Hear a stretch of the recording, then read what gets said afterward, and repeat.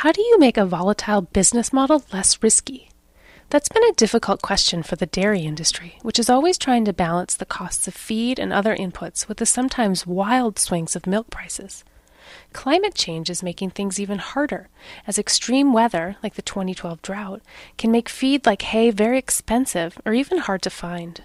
But a growing number of farmers think they may have found a solution to the problem of dairy farming's inherent risks, even in the face of climate change.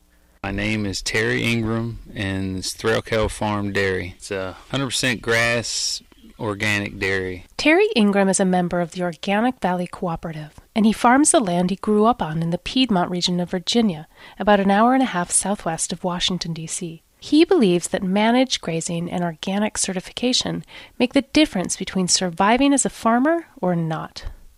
The foundations of consi- even considering farming, period, was because of the example uh, that grazing allowed a, a, family farm to operate uh, at a level that you can make a living. Grazing lends itself real really well to organic agriculture because you're proving to yourself every day that the most efficient thing and the the thing that we depend on most is the sun. It may sound simplistic, but in fact, the idea of fueling a farm's engine with the sun instead of with fossil fuel based inputs is powerful when it comes to resiliency and financial stability. Fertilizer costs have been rising steadily for decades. They make up the bulk of hay production costs. Pesticides, most of which are eliminated in organic farming, make up the next largest share of hay costs. When you put together lower production costs and the higher milk prices organics premium market generates, it makes farming a sounder prospect, especially for young farmers.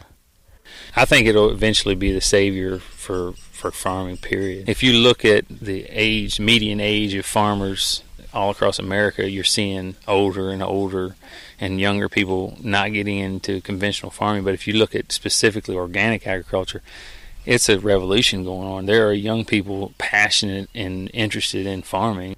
The number of organic farms in the U.S. has increased more than 140% since 2002.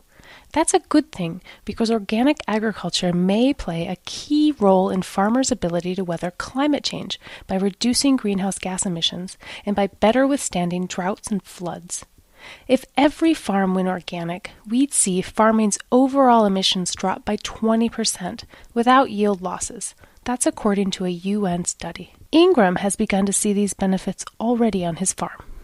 There's more extreme weather now. I mean, we have tremendous thunderstorms in the summertime, and then we'll go periods of you know very very dry weather. It's it has to be pretty droughty for me not to have something green for the cows to eat.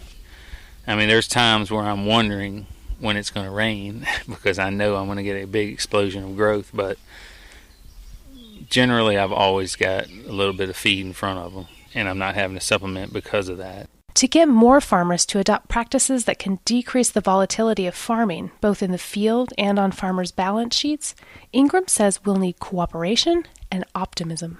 I uh, have found that you really don't have any alternative but be optimistic when you're a farmer because it's a very humbling career. But being humbled is a very good thing because you only gain wisdom if you have humility.